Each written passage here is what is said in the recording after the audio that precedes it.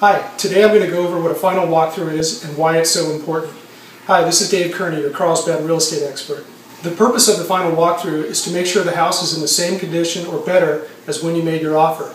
You already had your home inspection a few weeks earlier, so this is really an opportunity for you to get a final look before the seller is long gone. The final walkthrough takes place about five days before the close of escrow. Take your time when you walk through the house and check everything. Check the lights, run the faucets, make sure that there's no water leaks underneath, uh, flush the toilets, take a good look around, make sure everything's in working order, and check the walls and the floors to see if it, the movers damaged anything when the sellers moved out. And make sure too that uh, anything that's attached is still there. If there's chandeliers or if, you know, look and see that that built-in entertainment center is still intact. And also check the, uh, the landscaping not to say that the sellers would do this, but sometimes people see that people move out and they might dig up that expensive sago palm. So check to make sure all the plants are in place. The final walkthrough is your chance to make sure that any repairs that were supposed to have been done by the seller have been completed.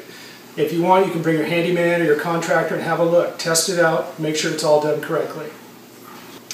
If you do find a problem, or if there's a pile of hazardous waste in the garage, don't get too worked up about it. It's still the same house you fell in love with. We just need the seller to take care of the problem. That's why a final walkthrough is done five days early.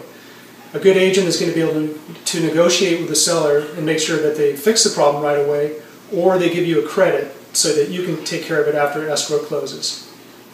If you have any questions about the final walkthrough, my name is Dave Kearney, and you can reach me at 760-845-6495. Thank you.